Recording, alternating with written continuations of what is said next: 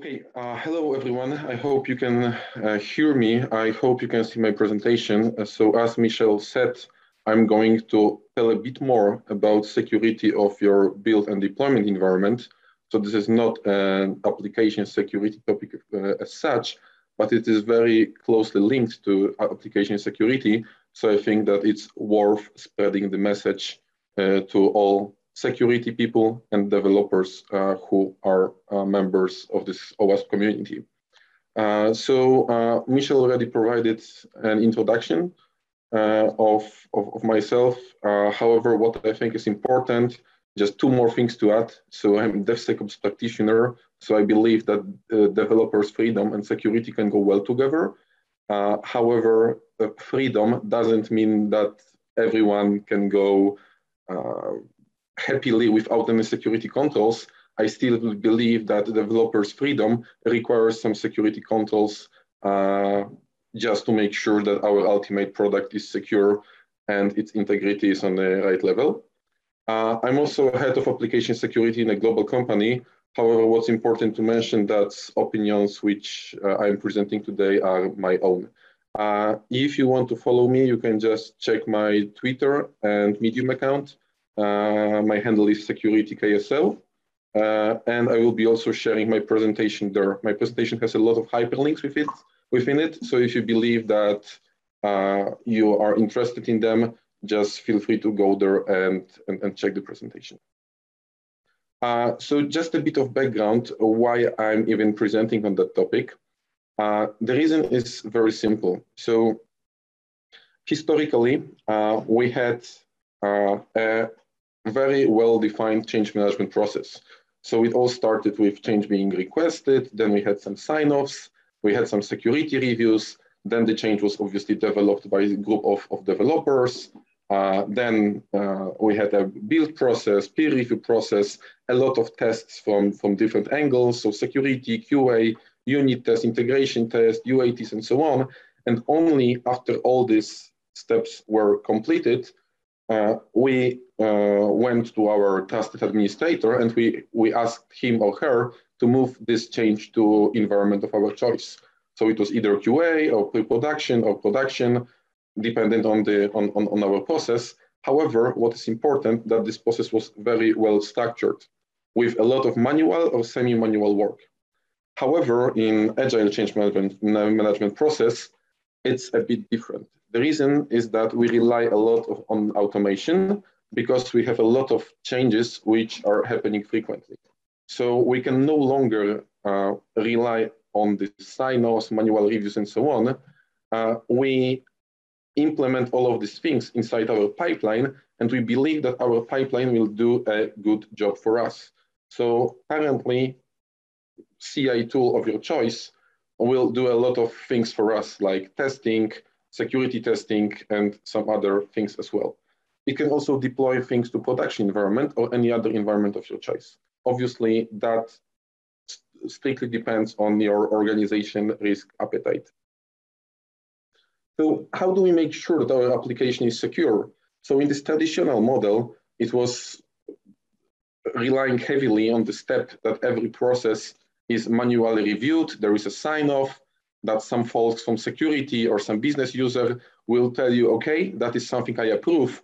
Please proceed with that change. And we also rely on the fact that we have this trusted administrator who knows exactly what he or she should be doing, and he moves the change to production uh, environment uh, without any any any uh, let's say without any problems.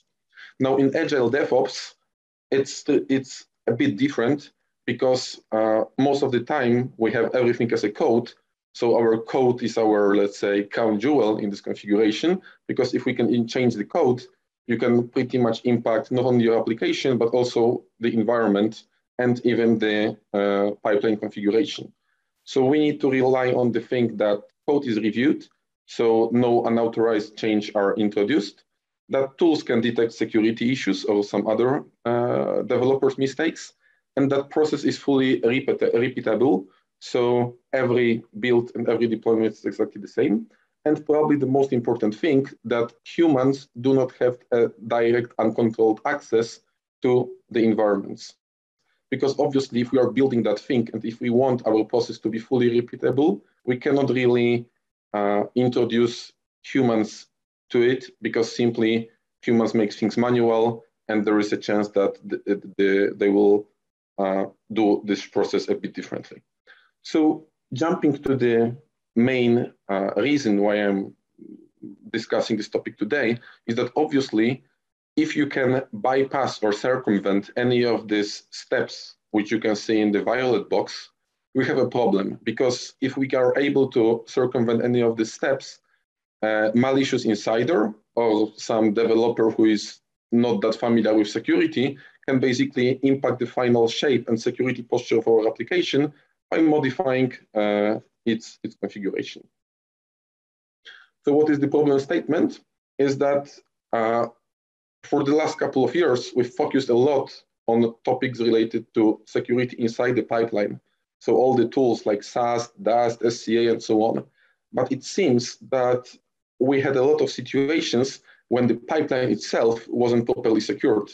So when I started, let's say, researching a bit on that topic, I called some of, some of my friends who are also in, in security industry, and I asked them, look, do you know any guideline how to secure a pipeline properly? And you know, all the all the answers which I received were something like, ah, you know, you just need to limit the permissions, you just need to enable logging, and and that was pretty much it, right? So by that time, there was no guideline how you should secure the pipeline properly and what are the things that you should care of. What is even worse is that some of uh, teams, some of companies, they would do a configuration review for example, of your CI component in the pipeline.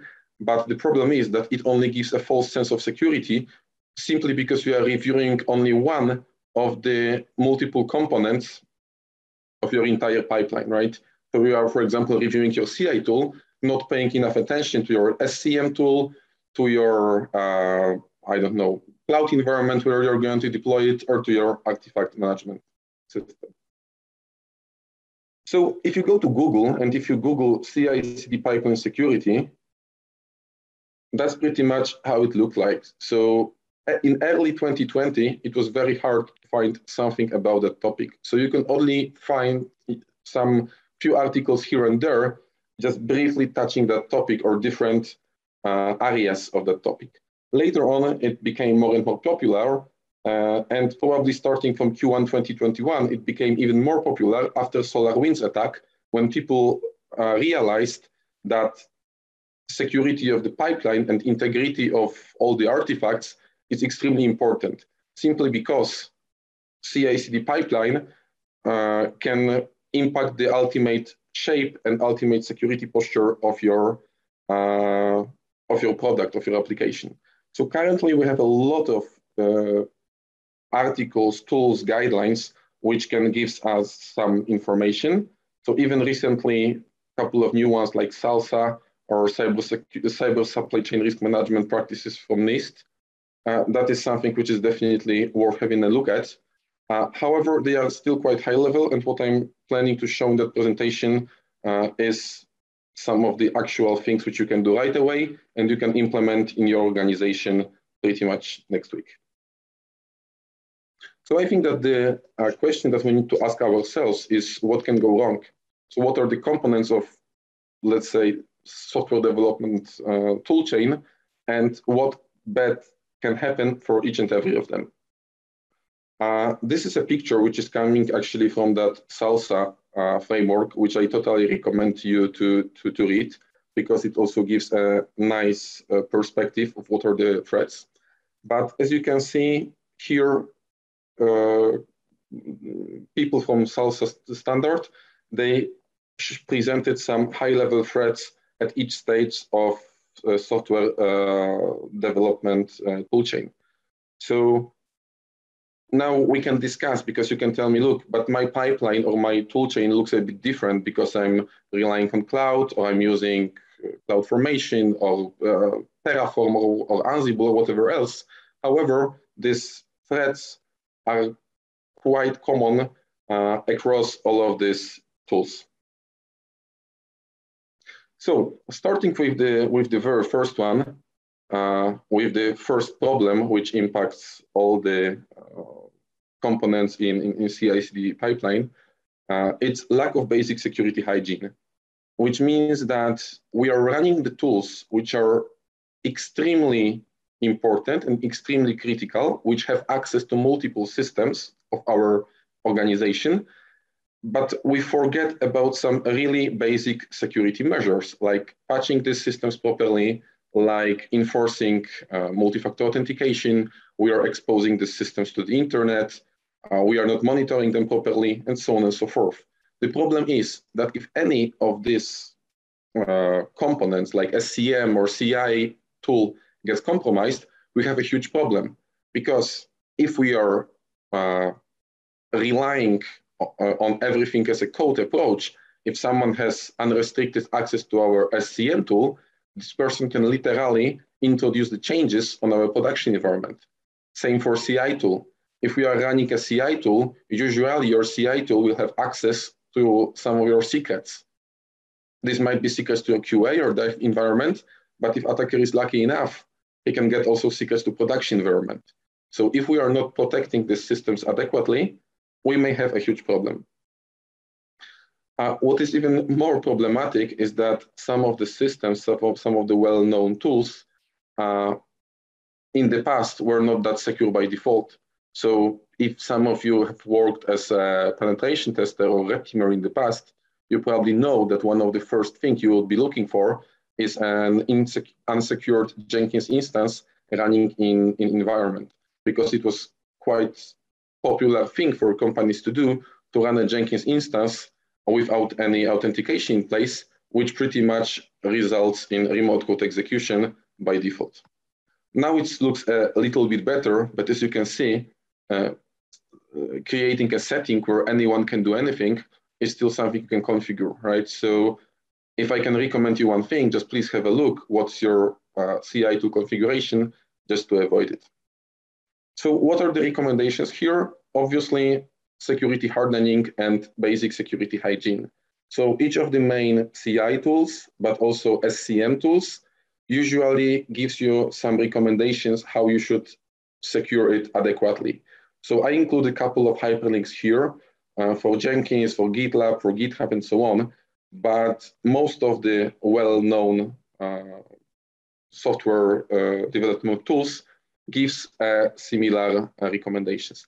If they don't, just please uh, use some your, your your security instinct, right? So you should you shouldn't probably expose it in an unprotected way to the internet, and you should not uh, make everyone an administrator.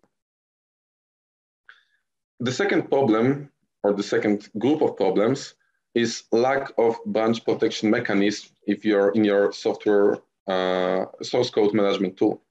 So what is branch protection mechanism? It's basically a mechanism which allows you to enforce certain rules in your source code management tool.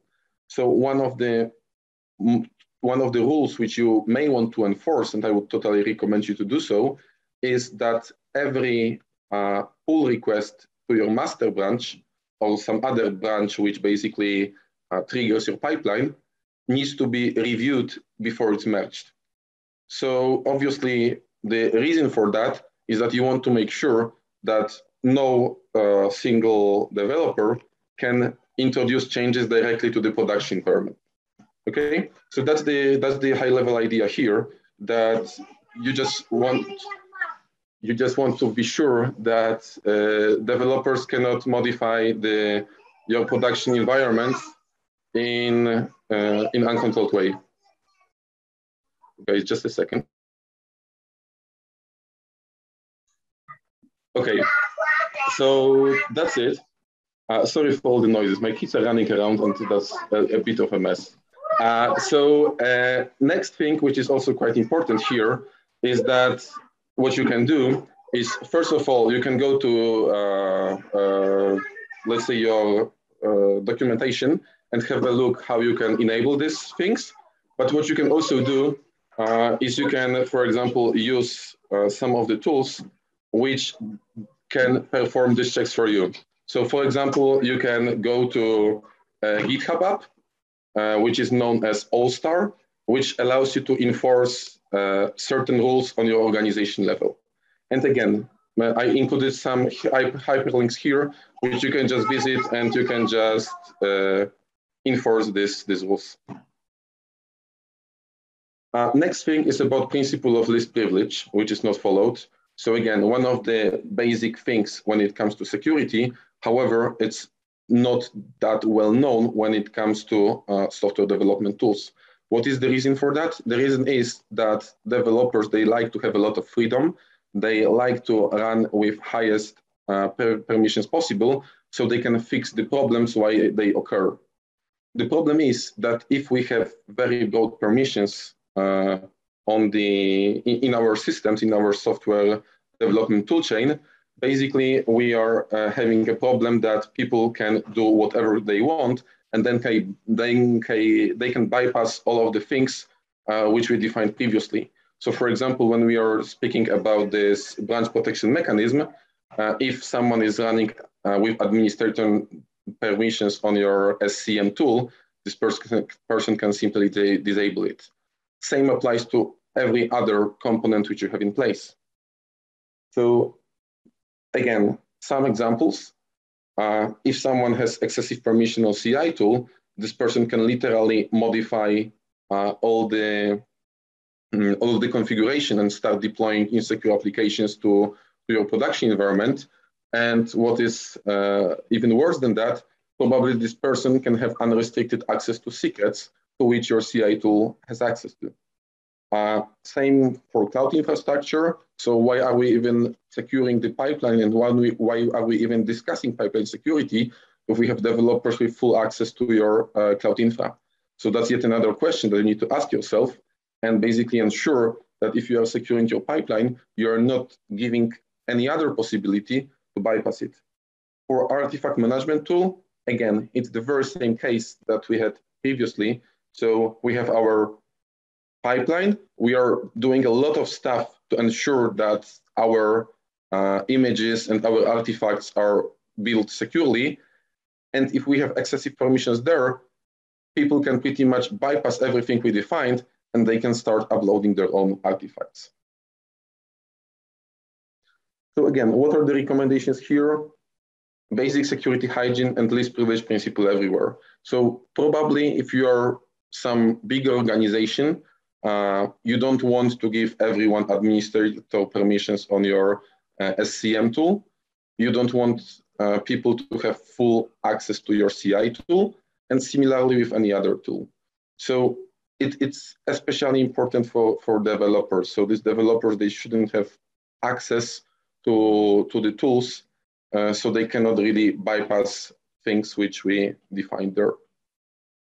Uh, if there is a need to have an uh, emergency access, obviously uh, you can create a procedures to do it, but you can also use some tools.